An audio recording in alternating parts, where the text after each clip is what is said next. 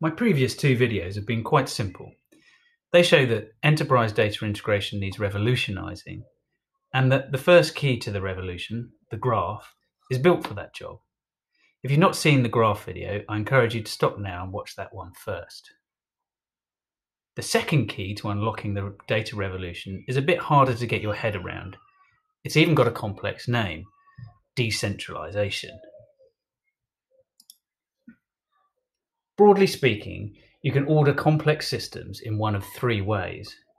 Firstly, you have no order at all, a disordered system with no rules or laws.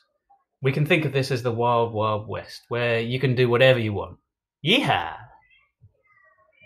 Secondly, you have the highly centralized command and control systems, where all instructions are issued from the center Think of the former USSR or perhaps even Skynet from the Terminator movie. Finally, there are decentralized systems where a universally agreed upon set of standards allows everyone to organize things amongst themselves, competing and collaborating with each other within a common framework. There's a story that might help explain this a little better. An official travelled from the former USSR to learn about the free market because, despite years of hard work by a team of talented experts, the Russian people still had to queue for their bread. Anyway, after travelling around London all day, he finally asked to see who was in charge of bread supply. He was desperate to meet this man and learn his great secret. Of course, in London, there was no one in charge of bread supply. Within a regulated market, companies compete and collaborate with each other, and an optimized bread supply chain spontaneously arises. Think about this for a second.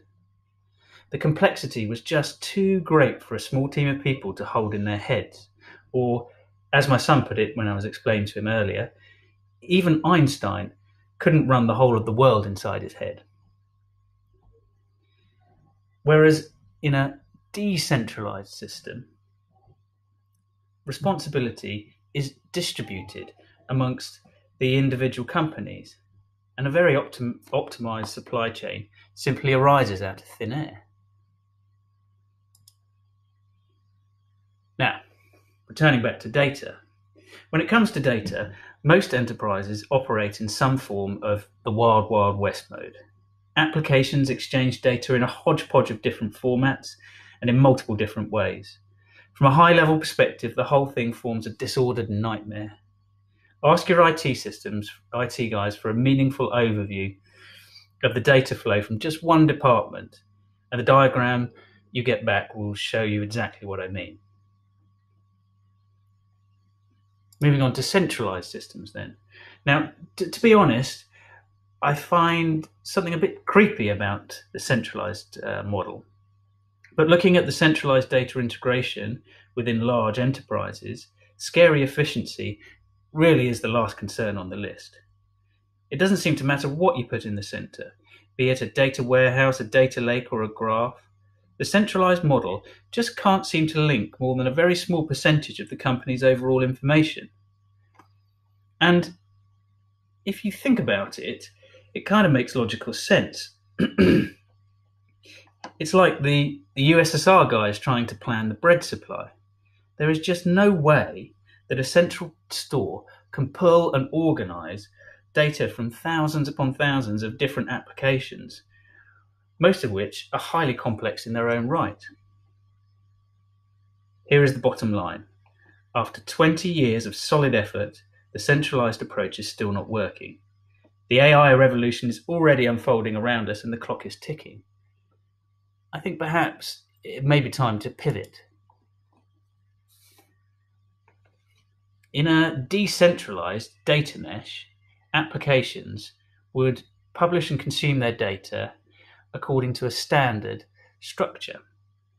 The data stays where it is within its database, but it's exposed in a standardized layer.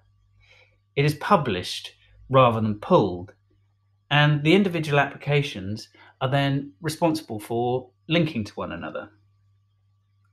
In this way, responsibility for the data integration is pushed down into the applications themselves, who, after all, are experts in their own data and already know about their connections with one another. So, let's ask a question. Hypothetically, could a decentralized model connect most of an enterprise's data together?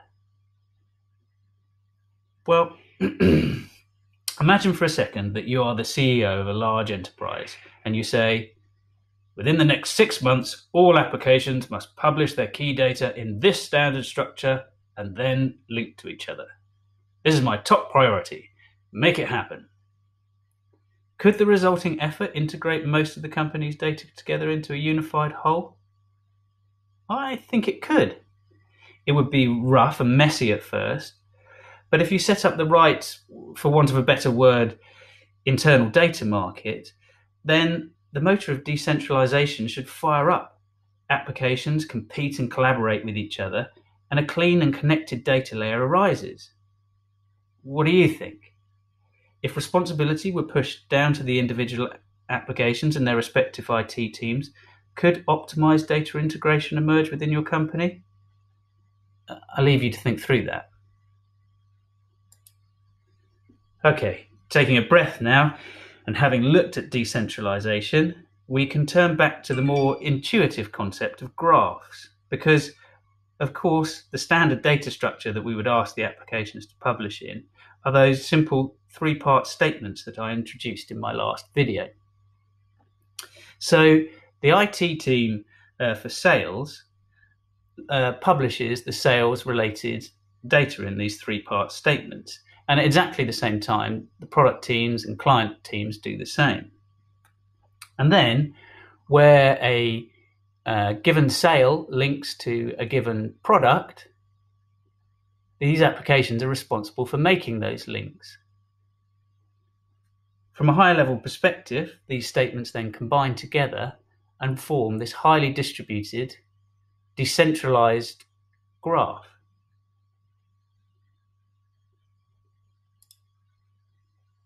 I warned you from the start that it was going to get quite heavy, and I've had to skip over a lot of details to keep this at a high level. But the good news is that whilst the concept of decentralization is quite a big thing to get your head around, in principle, implementing it is not. You simply ask all of your applications to publish the data in three part statements and then to link to each other. Getting your internal data market running smoothly may well be more nuanced, but the reward is great. A single point of access into a clean and connected graph of all of your company's data. Think about it. That is potentially a very powerful thing.